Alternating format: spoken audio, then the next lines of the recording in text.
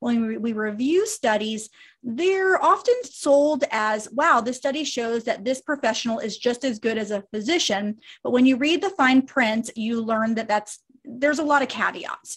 So, this study that came out in 2020, it was actually online. It didn't make it into real print, and we'll talk about why. Uh, and it was called Radiology Extenders Impact on Throughput Q2 and accuracy for routine chest radiographs. So they're just chest right. x rays. They have two radiology assistants or radiology techs that they ask to do a preliminary read. And then they have two resident physicians that are in training. Do they say how far along in their training they were? They did not. No. Okay. So we don't know if they're very junior or if they're about to graduate. We have no idea. Also remember that, you know, re- residents are there, they're working, but they're also there to learn. So they're doing very thorough, you would hope, evaluation and maybe they have to look something up or read about something. So we're not talking about fully fledged radiologists were talking about in training and they were simply looking at chest x-rays. And then the senior physicians the attending physicians then overread all of the x-rays and then they analyzed how fast were those x-rays able to be processed and completely read meaning read first by the preliminary and then by the attending and then how many errors were made by the uh, assistants versus the residents so, right. what they concluded was that the radiology assistants speeded up the process.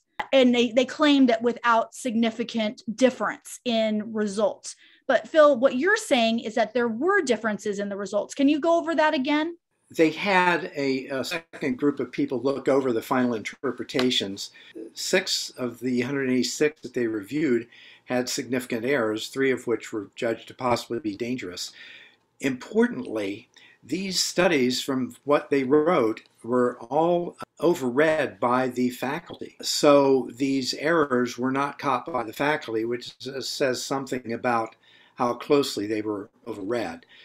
There was one study uh, of the resident group that was judged to be a significant error, but not a dangerous one. Now, these are really small numbers and they not if you're the patient though phil. Like if those right. i'm sorry but if those radiology assistants looked at a quote simple chest x-rays uh, supposedly and three of them three out of 186 interpretations were dangerously wrong if i'm one of those three people maybe i die.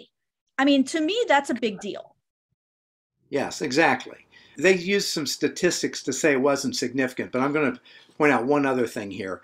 In their introduction, they note how important it was to them to save money by using these people, which is to say, they are not uninterested arbiters. They are not skeptical scientists. They are promoting a business entity. Say there's maybe another um, bias about the involvement of the residents.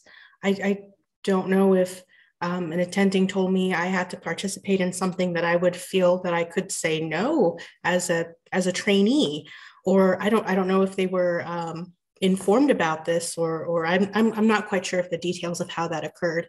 So you're exactly right, Sharon. And in fact, I want to give a lot of credit to Phil and one of his colleagues, who's also a board member and a radiologist, a board member of Physicians for Patient Protection, because when the two of them saw this study, they had grave concerns about it because of the the flaws in it but also because of the ethical question about involving residents which are physicians in training.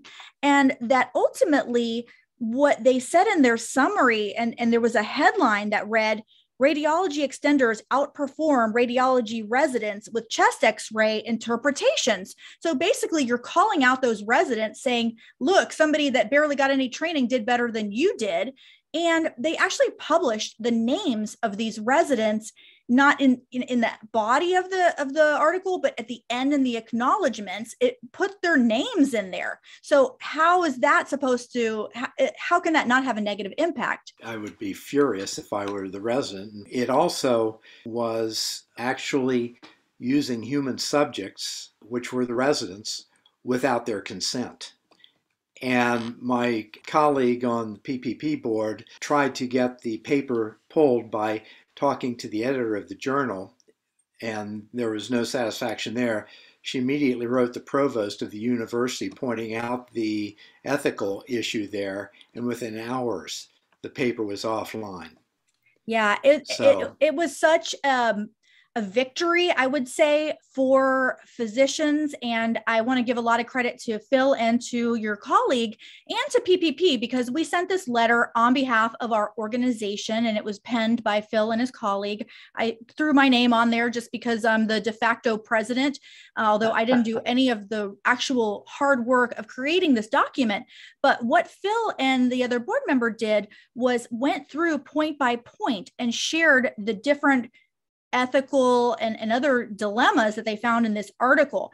Number one, they tried to claim that this was a QI or quality improvement study instead of an actual research study, which it really was. And so that they claimed that because it was a QI, that it should have received a IRB exemption, meaning it did not have to go through a board review process and that they didn't have to get all this you know consent and there's there's a regimen that you have to go through to experiment on human subjects. Yeah and then number two they failed to protect the identity of the research subjects as we mentioned.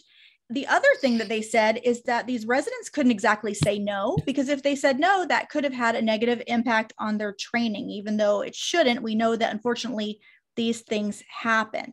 So, what was really amazing, as you mentioned, very quickly from when this letter was sent to the vice provost, and also copies were sent to the research integrity officer at University of Pennsylvania. And very quickly, the article was pulled. It's no longer able to be seen online and it was not published in print. Although, if you Google search it, you'll still see some news articles and headlines touting that radiology extenders can outperform resident physicians. But fortunately, we were able to get that article pulled and received a letter back from the University of Pennsylvania from the senior vice provost for research, uh, Dawn Bonnell.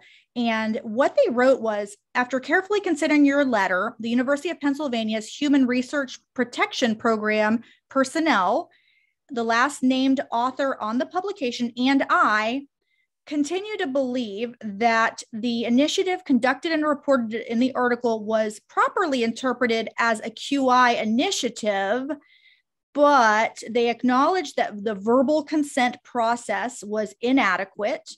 And they said, considering the circumstances and out of respect for the participants, they have elected to formally withdraw the article, the authors had. So it, it even though they withdrew it, you can hear that they're they're not really taking as much responsibility as we would have hoped. Sharon what are your thoughts when you hear when you heard about that response? Well I, am I'm, I'm i'm glad for the residents that it was taken out. I i i don't know from that response if they've really quite learned their lesson. I'm not quite sure if they won't try to do this in another way in another form. So i am still a little concerned given their their history I'll say this Dr. Jia's presentation, of course, he's from the same section of the same institution, uh, came several months after that article was pulled. Their enthusiasm for doing this is no less. Uh, they didn't get a publication out of it. I don't think they care that much. But the important thing to them is the money, and they're going to keep going for it.